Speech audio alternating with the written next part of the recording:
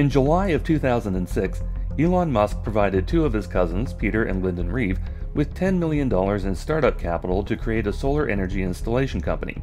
Then he assigned himself as chairman of the board of that company with 22% of available shares. By December of 2012, Solar City had enough of a market share to warrant an $8 IPO on the NASDAQ, and in just 13 months, the share price hit a record high of $88.35. A decade after incorporation, Musk and his cousins then sold Solar City to Tesla for a $6 billion combination of Tesla stock and debt acquisition, with Solar City shares closing at only $20.36 on their last day of trading, November 18, 2016 down 78% from their all time high. This presentation is going to dissect that transaction and demonstrate exactly what Musk sold shareholders of his only remaining publicly traded company, which itself was also apparently on the verge of bankruptcy. There are three tangents we're going to touch on over the course of this multi part episode, which all demonstrate just how intertwined all of Musk's grand ventures are, which rarely, if ever, benefit Tesla shareholders or anybody other than Musk. All information referred to in this episode is cited by the website where the information was discovered. Viewers can verify information at their own convenience by searching for the quotes on the source shown. And although this is a very long episode, we encourage everybody to watch it all the way through and each part, because we believe that this scenario is very indicative of every company Musk is involved with.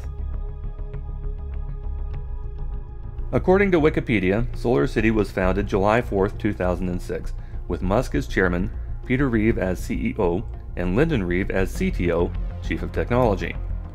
The new company grew quickly, and in just three years, Solar City installations were already generating 440 megawatts of power, roughly equivalent to the Taum Sauk hydroelectric dam in Missouri. In its heyday, the company was considered to be one of the top solar installation companies in North America, this was despite offering no clear solar technological advantage compared to other players in the same space. The MIT Technology Review, in fact, described their business model as simply a better way to use existing technology. All their panel technology was either purchased from other suppliers or acquired from other companies bought out by SolarCity rather than developed in house prior to 2017.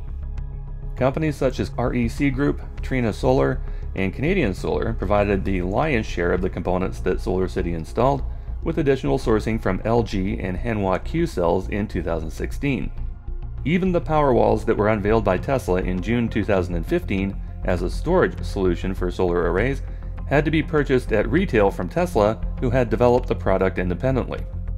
Solar City started buying up competitors such as Clean Currents and groSolar in 2011, then Paramount Solar in 2013, spreading their operations to the East Coast and doubling their energy production to 870 megawatts by 2015, accounting for 28% of non utility domestic solar energy production nationwide.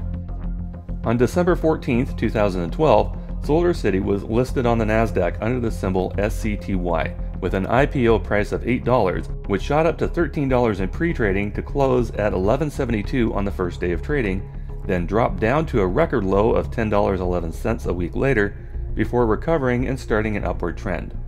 Another hyped up Musk bandwagon for people to buy into to make their millions.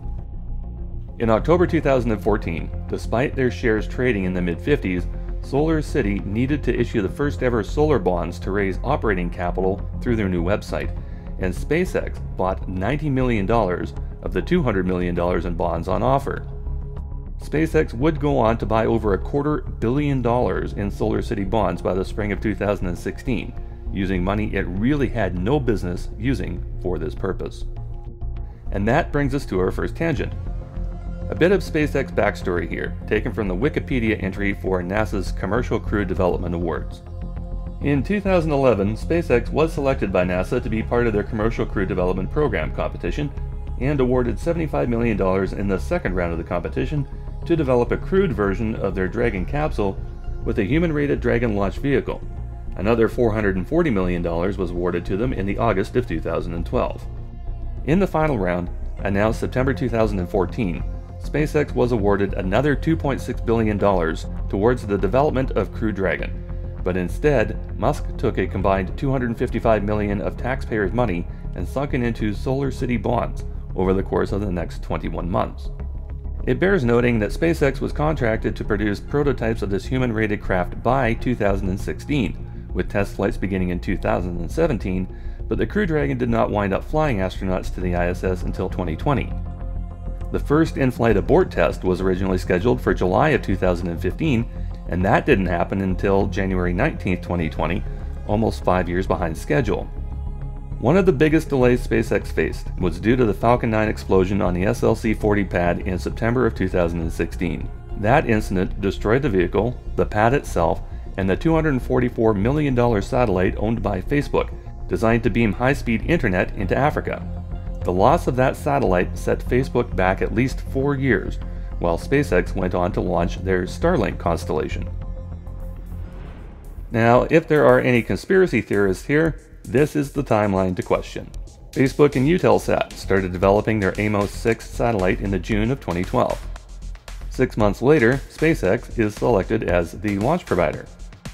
Two years later, Musk announces Starlink, seemingly out of nowhere. The following year, Facebook's $244 million satellite is destroyed in an explosion on the launch pad. 17 months later, Musk starts launching Starlink satellites. In September of 2020, Facebook finally managed to develop and launch another prototype satellite, and they chose France's Ariane Space, not SpaceX, as their launch provider.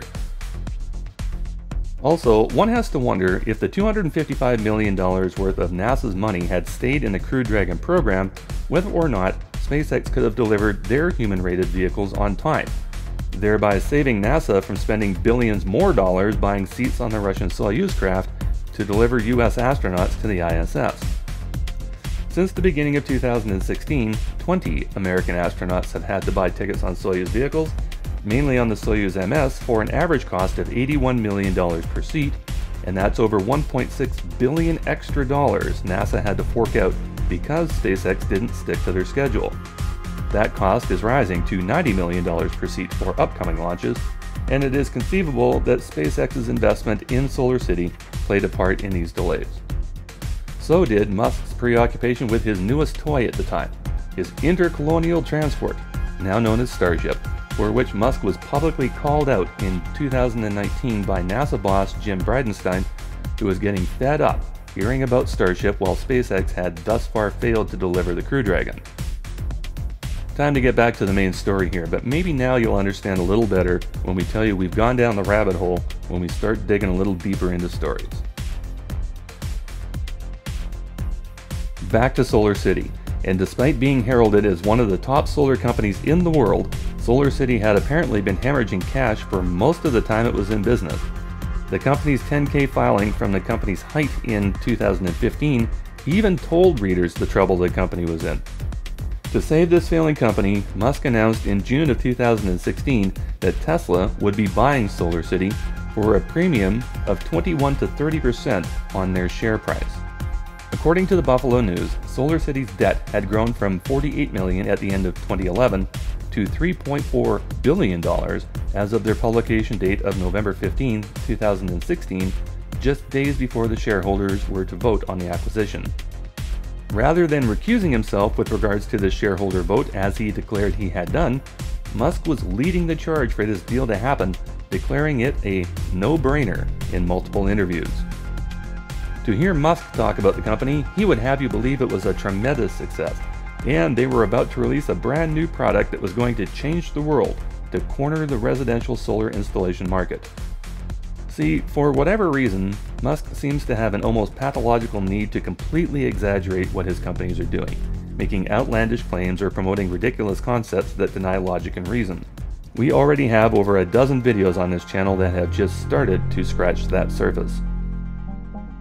Our episode on Neuralink illustrates this perfectly.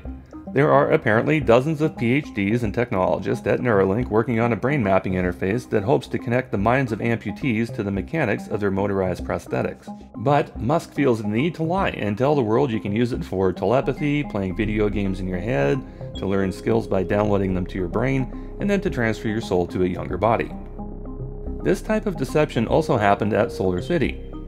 The company installed rooftop solar components from other manufacturers like every other solar installer out there. but Musk had to promise shareholders a revolutionary roofing tile system that would corner the residential solar market to seal the deal. In the weeks prior to his shareholder vote, Musk orchestrated the unveiling of a brand new product line for Solar City, the Solar Roof Tiles. He brought a gallery of spectators and cameras to the set of Desperate Housewives, and with great fanfare proudly told everyone in attendance that these houses were now solar powered using these new devices. The panels looked just like normal roofing materials because, in effect, that's all they were. Despite Musk's claim to the contrary, none of these roofs were functional, and every tile was a non functional prop. The biggest issue surrounding the claim wasn't that these tiles didn't work, and have never worked. No, the issue was Musk promised they did work while he was convincing his Tesla's shareholders to acquire this company. This was an orchestrated deception. Greentech Media's Julian Spector wrote a retrospective on these devices describing the ongoing issues with this failed promise and reminded us that, to date, no other company has pulled off a solar shingle tile.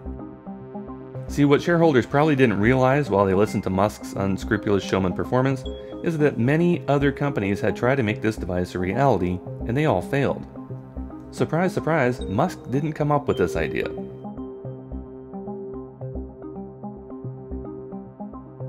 Original patents for integrated solar roofing shingles go back to the 1970s. This particular patent is dated 1977, and did you notice who the patent holder was? NASA. The US government, through NASA, filed a patent for a solar rooftop shingle design on August 24, 1976. Many others tried the solar shingle concept and failed. For example, BeamReach, formerly Solexel, burned through $250 million in funding and grants trying to develop the concept before going bankrupt in 2017. Probably the biggest player who tried the solar shingle space was Dow, with its powerhouse line of products dating back to 2009. It was named as one of Time magazine's best inventions of 2009, despite the fact Dow didn't invent the idea. The company believed it would be a $10 billion cash cow by 2020, but the product never lived up to expectations, including cost effectiveness. Reportedly, only 1,000 Dow Powerhouse roofs were ever installed, and the product line was abandoned in June of 2016. In 2017, one of the original American long-standing solar companies called RGS licensed the Dow product to produce Powerhouse 3.0 tiles. They had been pioneers in the solar industry since 1977, but three years after taking on solar shingle licenses, they declared bankruptcy after 42 years in business. Solexel couldn't do it, Dow couldn't do it, RGS couldn't do it.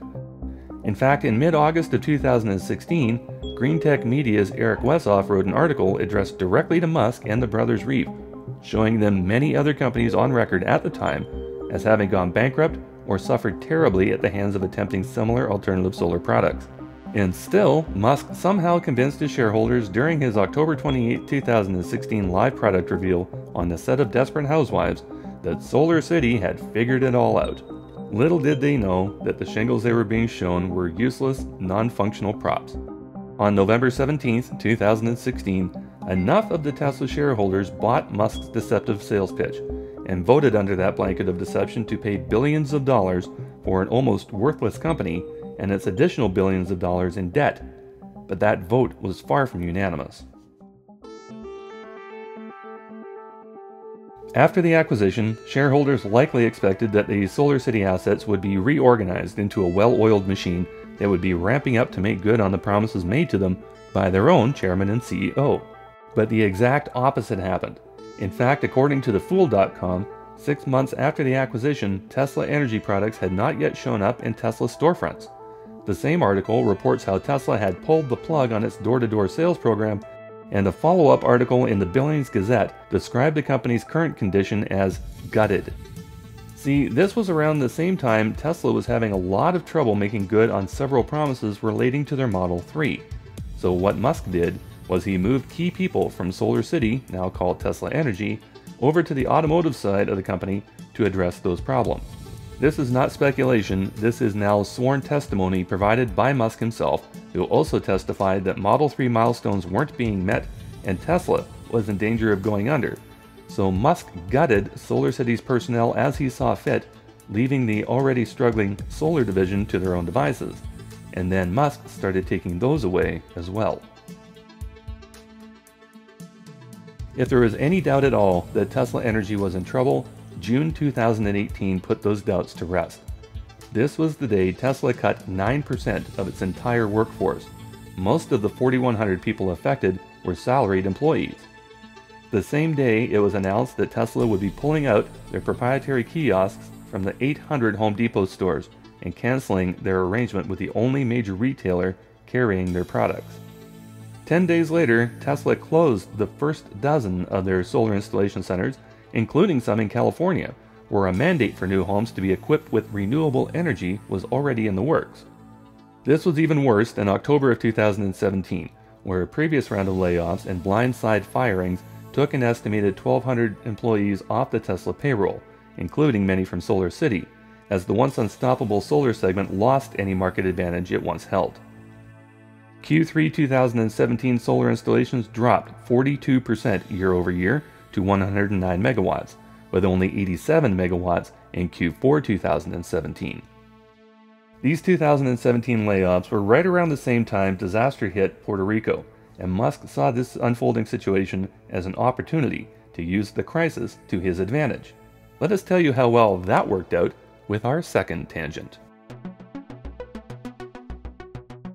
On September 6, 2017, a Category 5 hurricane named Irma slammed the Leeward Islands to the east of Puerto Rico and carved a trail of destruction across the main island. This storm plunged 1 million people into darkness as the aging electrical infrastructure was decimated in the storm. All told, Irma was responsible for around $50 billion in damage. On September 20, 2017, Cat 5 Hurricane Maria hit the island directly, blew weakened buildings apart, flooded much of the island, and destroyed what remained of their aging infrastructure and power grid. Damage estimates for Maria alone topped $90 billion, making it the worst storm in Puerto Rico's history. Post storm estimates coming out of the area said it could take months or even years to get electricity back up and running. Musk saw an opportunity in this disaster to benefit his lagging solar company by offering to lend, not donate, solar systems and power walls to organizations in Puerto Rico to get the power back on. October 6, Electrek was reporting Musk and the territory's governor, Ricardo Rossello, were in touch through Twitter regarding a possible plan of action. A week later, Tesla claimed to have deployed hundreds of technicians to Puerto Rico with equipment to install at 600 locations across the island that would be free at first, but would have to be paid for later. Unfortunately, Musk had no idea what he was sending his people into, and Daily Kos reported that the project itself was a disaster. As the Huffington Post reported in their follow up article of May 11, 2019, here's what followed. Within months, most of the equipment Tesla sent down had fallen into disrepair, having never been used. One system that was connected to the Ciudad Dorada Senior Center immediately blew out the power packs when it was connected to the building. As a result, the system has never worked and still sits there, useless, as a large diesel generator burns through fuel to keep their lights on. They also installed a system for a water treatment facility that was never used and has since become a solar panel graveyard, overgrown and damaged by the wild horses that roam the island. And yet another system set up at the Vieques Hospital was abandoned since the hospital was condemned due to damage and mold. As Edgar Oscar Ruiz, a Puerto Rican activist for renewable energy on the islands, told the Huffington Post in 2019, Tesla came in with great intentions, but that's not enough. As of the writing of that article, the island of Vieques still relies on dirty power, and the solar equipment sits useless and broken. And as it turns out, their intentions weren't that great to begin with. It was all a PR stunt. The media was quick to give out the accolades, but very few news organizations bothered reporting Musk's failure to deliver, which has now become a pattern. Throughout 2018, although the Tesla Energy Storage division seemed to be on the rise, retrofit solar panel installations continued to drop. And in Q4 2018, they were down 21% from Q3, down 38% from the previous year, with a total of only 326 megawatts installed on the year. In February of 2019, in an effort to stem the bleeding and continued loss of market share, reports came out on Reuters that Tesla was dropping its showroom program in favor of a strictly online sales platform offering standardized solar packages, but obviously not solar roof tiles. As Frank Gillett, principal analyst at Forrester Research, accurately stated at the time, solar is now the stepchild at Tesla. they've made two decisions in a row that deal crippling blows to their solar business. As Tesla was shutting down many of its retail locations, there were two more rounds of layoffs 8% in March of 2019, preceded by a 7% cut in workforce the previous February. These layoffs came on the heels of fourth quarter reports that solar sales had fallen off a cliff, going from a 33.5% market share in 2016 to just 9.1%. In the fourth quarter of 2018, they had installed a mere 73 megawatts of solar, compared to 272 megawatts in the fourth quarter of 2015, a 75% decline. And the most recent quarterly numbers from Tesla Energy would have salespeople jumping for joy to hit that number this year. Q2 2020 reports that the division had its worst quarter ever, dropping to a microscopic 27 megawatts. Perhaps the highly publicized fires in 2019 have something to do with this continued exodus.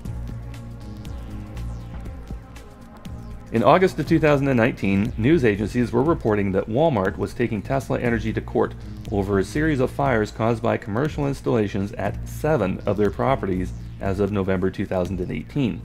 Walmart went so far as to demand Tesla remove their equipment from all 244 stores that had been installed, cover all the cost of those removals, the loss of business, and the damage to property, citing gross negligence as the basis of their claim. In their filings, Walmart started doing their own diggings into the Tesla purchase of Solar City, citing gross negligence in their installations and in their maintenance. Amazon chimed in once the court battle became public knowledge, stating a Tesla Energy solar array caused a fire at their warehouse in Redlands, California in June of 2018, and that they would not be buying any more Tesla products as a result. As a point of interest, that same warehouse burned to the ground in June of 2020 and the cause of that fire has not yet been determined. Then residential customers started coming forward, saying how their Tesla arrays had caught fire and damaged or destroyed their homes. Brianna Greer was fortunate enough that a quick response by neighbors and the local fire department saved her house with minimal damage, but others, such as Ken Tomasello, were not as lucky. And while people were having their houses torched by their green energy devices, Tesla was about to watch a strategic partnership go up in smoke. And that's how we're going to start off part two of this presentation. Get up and stretch, grab a drink, and click the link when you are ready to go with part two.